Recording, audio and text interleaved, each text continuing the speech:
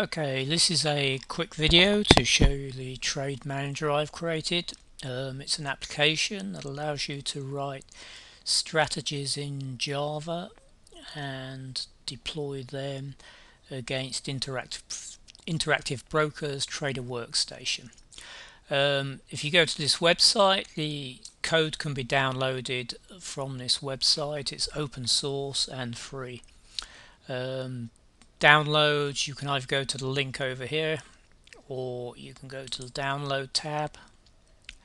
Um, I've also included a demo demo database. This has data for 2013 for gapping stocks on a 5 minute basis and 1 minute basis.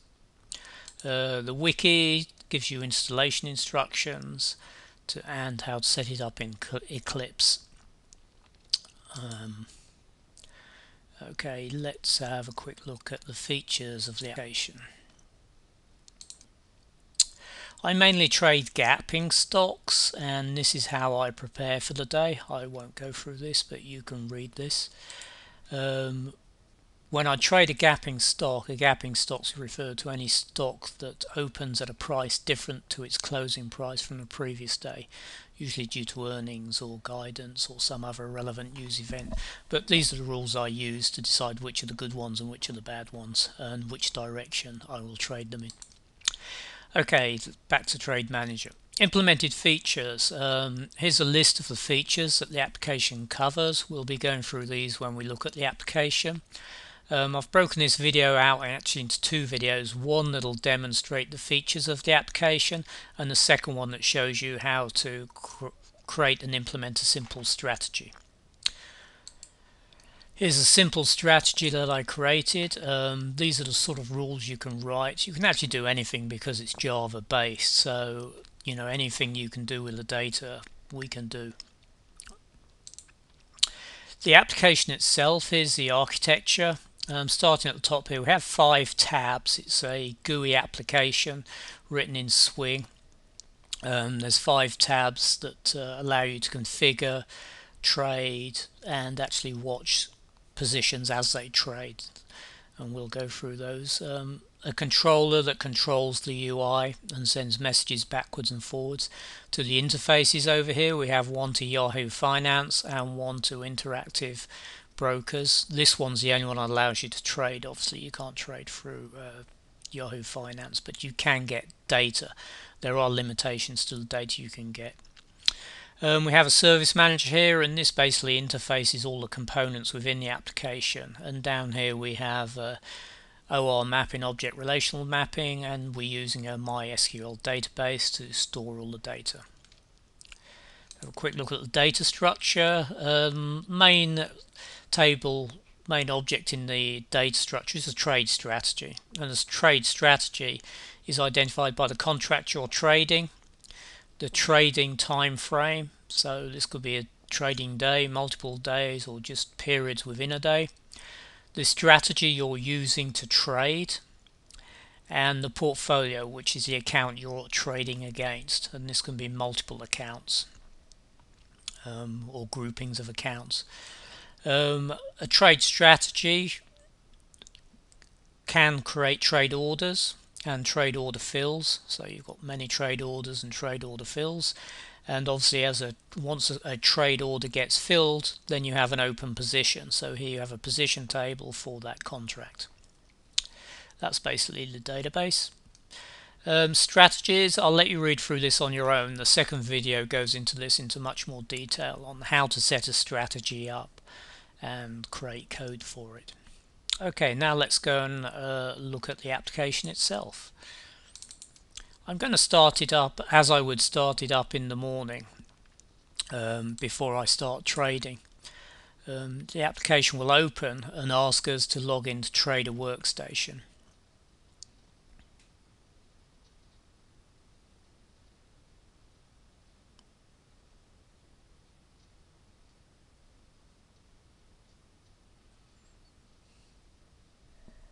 It is doing something it's actually starting here we go first thing it does is come up with the log on screen and uh, the details that are on here are actually in the configuration file. So let's have a quick look. Once you install the application, you'll have a, a main directory and you should see the two build files, the bat file and the sh file, these are for Linux, and a configuration properties file.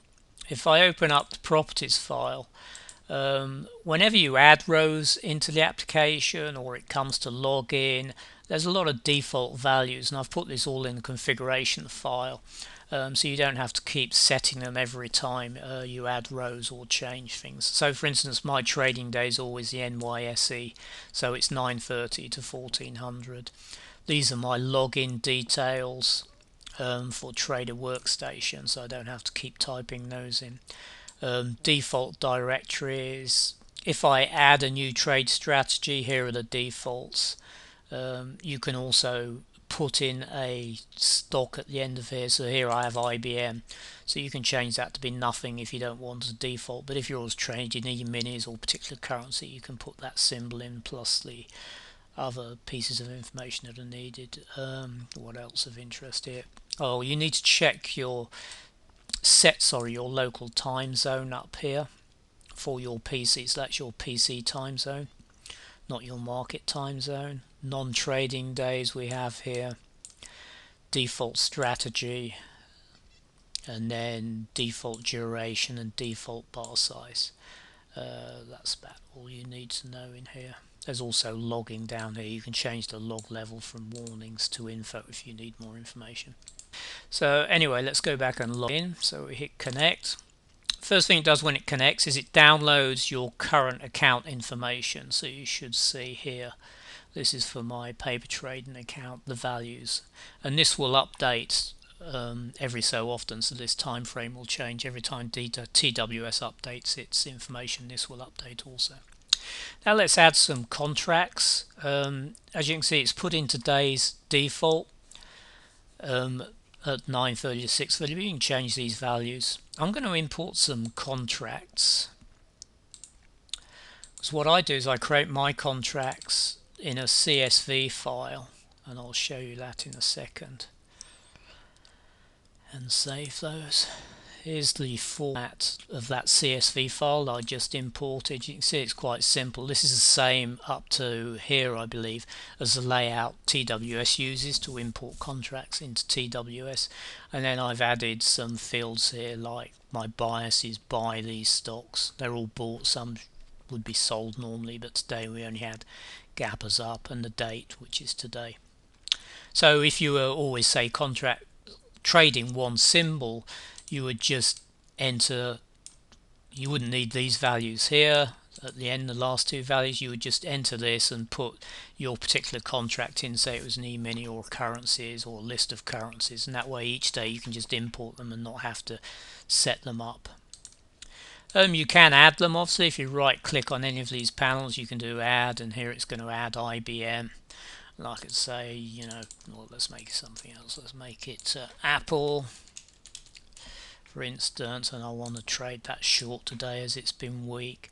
Um, these values here are, have come from the configuration file so has this come from the configuration and so it was two days but you could change this and you can change these to any time period you want to trade on. I'll leave these as five minutes because that's what this uh, strategy does. Your risk amount you don't this is optional field. Any field that has a uh, star by it is mandatory. Actually this one should be optional because the only time this value is used is in your strategy so that's a bit of a mistake. You can hold your mouse over and you can see the highlighted portion over here tells you what the parameter is in the configuration file. You can sort by clicking any column headers. Um, if you click on a particular row these values will light up. So you can if you just wanted to run the strategy or cancel the strategy for one particular stock you can just click on it and use this. If you use the toolbar up here this runs these actions run for all of these so if I'm running run strategy this will start running all of these strategies for instance if I want to get market data this will get market data for all of these whereas if I just click one and do market data you just get it for the single item Um, so what I'm going to do is just bring in the market data and I'll click on that. I'll need to save as we've just added them. So save and now it will go off and it will bring in market data and start the market data running for these symbols. Normally you'd be running this green bar which is run strategy which gets the market data then starts the strategies up. Um, this one's grayed out because it's for running in test mode and obviously while we're still connected um, test mode's invalid. So let's have a look at the contract tab. Contract tab lists all the contracts you have in a tree form from the previous tab and if we select one it will bring up the data that we've imported and uh, every five seconds you'll see this update and the values will change here and here as new data comes in. If we had any orders they would show down here in this uh, panel and you can add orders here if you needed to. If you had a position open you can hit this button and it will close the position. So say you had a strategy running and you wanted to uh, close that strategy you could just do it from here and you can zoom in on the charts and you can right print them and zoom out and do lots of other features and mouse over will give you the values let's look at the portfolio. Portfolio tab gives you a detailed summary of all your trades for the year. All these columns are sortable. So if I want to sort you can see all the losses see all the games. For redo the search you can change the date ranges on here. Um, if you want to see different periods, this shows the whole year and it's summed by month here. Gives you batting and your Sharpe ratio here.